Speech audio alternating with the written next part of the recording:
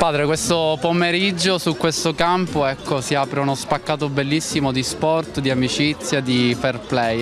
Eh sì, noi stiamo cercando di dare un'idea diversa di questa scuola. Una, una, il Gonzaga diventa un campus in cui i ragazzi possono vivere tante esperienze importanti per la crescita e lo sport è una di queste esperienze che forma sia a livello personale che a livello sociale ed è testimone di valori in cui la nostra società ha bisogno di credere credere e di rilanciare.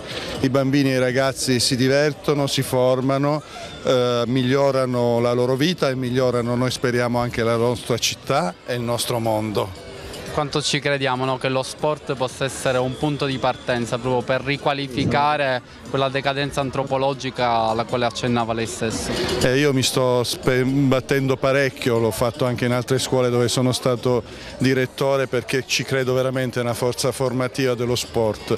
Eh, non passa attraverso messaggi predicati ma passa attraverso esperienze vissute. I giovani sperimentandosi nello sport veramente imparano i valori e questo come diceva è una buona ricetta per rilanciare i valori oggi presso i giovani e nella nostra società.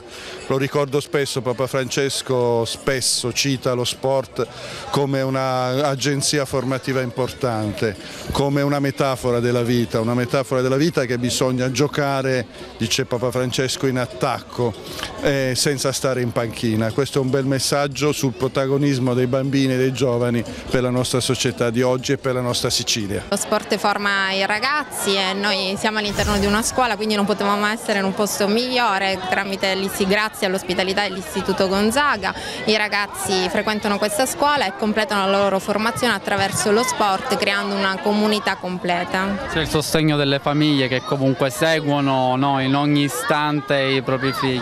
Assolutamente sì, sono i loro primi fan. Certe volte esagerano un po', però anche questo fa parte del calcio, dello sport. Tanto sacrificio che poi alla fine ripaga vedendo un po' tutta non, questa gioia. Non sono per niente sacrifici, è gioia, felicità, giocare con loro, divertirsi, veramente mi danno tanta energia, do tanto ma tanto ricevo.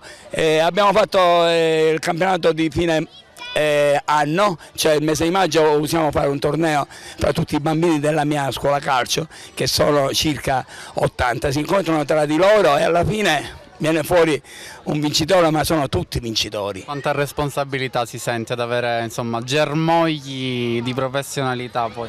No ma non mi sento nessun peso addosso, io vengo con eh, gioia, allegria, mi diverto con loro. Porta aggregazione da parte di tanti ragazzi che si ritrovano in una struttura eccezionale dove eh, la cultura e i valori si coniugano con qualcosa di importante che è lo sport e l'aggregazione tra i giovani.